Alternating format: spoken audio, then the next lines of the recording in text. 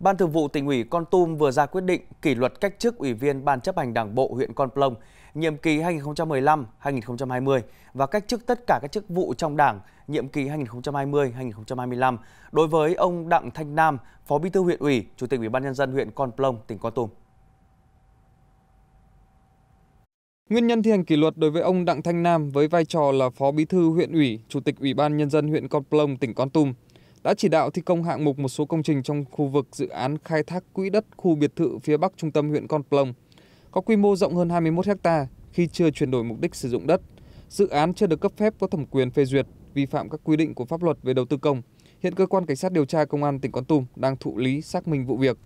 Bên cạnh đó, ông Đặng Thanh Nam còn ký các quyết định giao đất, cấp giấy chứng nhận sử dụng đất đối với 5 lô đất xây biệt thự tại thị trấn Măng Đen, không thông qua đấu giá, quyền sử dụng đất vi phạm các quy định về luật đất đai. Theo tỉnh ủy Con Tum, vi phạm của ông Đặng Thanh Nam gây hậu quả nghiêm trọng, gây dư luận xấu trong cán bộ, đảng viên và nhân dân, làm giảm uy tín cấp ủy, chính quyền địa phương và cá nhân ông.